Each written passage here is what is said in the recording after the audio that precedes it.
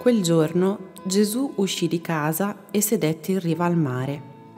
Si radunò attorno a lui tanta folla che egli salì su una barca e si mise a sedere, mentre tutta la folla stava sulla spiaggia. Egli parlò loro di molte cose con parabole e disse, Ecco, il seminatore uscì a seminare. Mentre seminava, una parte cadde lungo la strada Vennero gli uccelli e la mangiarono. Un'altra parte cadde sul terreno sassoso, dove non c'era molta terra. Germogliò subito perché il terreno non era profondo, ma quando spuntò il sole fu bruciata e non avendo radici seccò. Un'altra parte cadde sui rovi e i rovi crebbero e la soffocarono Un'altra parte cadde sul terreno buono e diede frutto, il cento, il sessanta, il trenta per uno. Chi ha orecchi ascolti.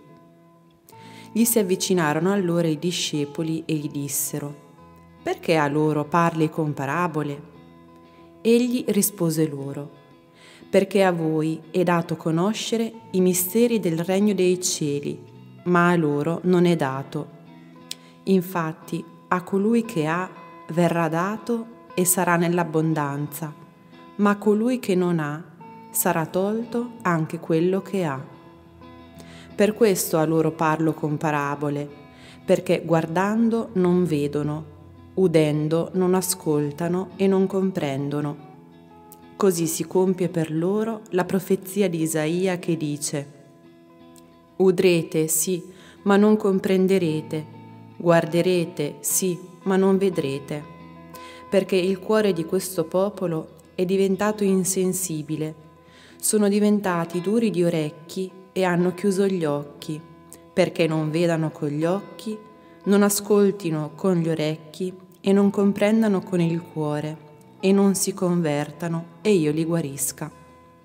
Beati invece i vostri occhi perché vedono e i vostri orecchi perché ascoltano in verità io vi dico, molti profeti e molti giusti hanno desiderato vedere ciò che voi guardate, ma non lo videro, e ascoltare ciò che voi ascoltate, ma non lo ascoltarono.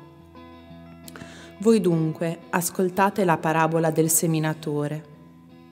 Ogni volta che uno ascolta la parola del regno e non la comprende, viene il maligno e ruba ciò che è stato seminato nel suo cuore.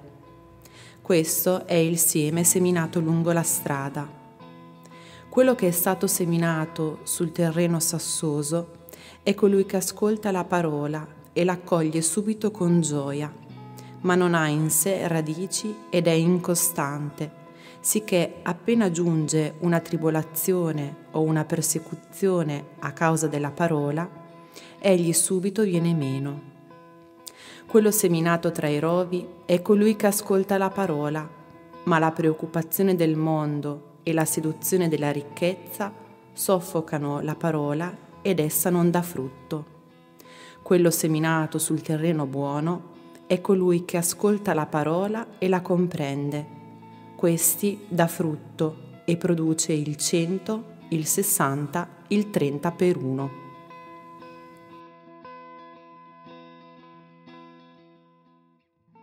Oggi onestamente non ci sarebbe bisogno di spiegare il Vangelo perché fa tutto Gesù, Vangelo e omelia. Però sento il bisogno di contemplare la figura di questo seminatore che, come nel quadro di Van Gogh, semina quasi distrattamente il seme della parola. Pare si allontani rispetto al tracciato, andando a gettare il seme fuori dei solchi preparati pazientemente dal contadino. Semina dappertutto, sulla strada, nei rovi, sul terreno sassoso, come un cieco mandato solitario senza riferimenti intorno a lui. Ma in realtà dove semina costui? Dirà la liturgia dei Vespri il Figlio di Dio viene per seminare nei solchi dell'umanità il seme della parola. Bellissimo.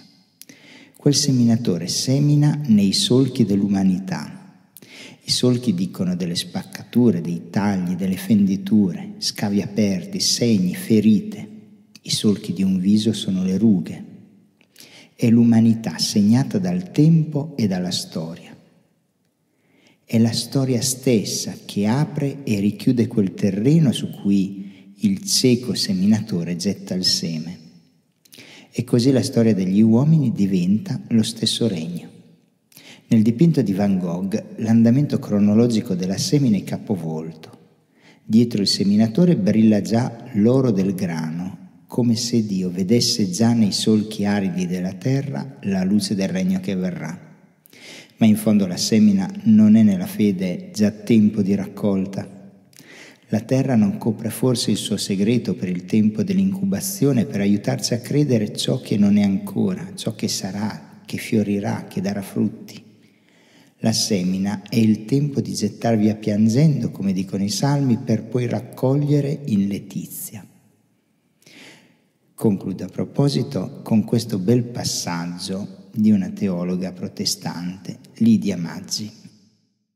Il seme della parola è potenzialità di vita che ha bisogno di incontrare il nostro cuore, desiderio di amore e felicità. Il predicatore itinerante si accosta a riva, scende dalla barca, circondato dalla gente e mentre lo vedo riprendere il cammino mi chiedo cosa vogliano dire queste sue parole. Mi interrogo e sento che questa domanda fa penetrare quel seme più a fondo dentro il mio cuore. Sento calore, gioia, serenità. Ho ricevuto un messaggio dal futuro.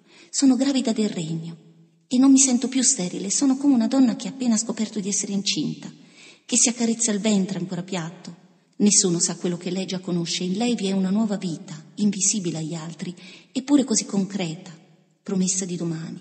E non mi sento più sterile, vuota, sono gravida di una nuova realtà che già esiste, anche se ancora gli altri non lo scorgono.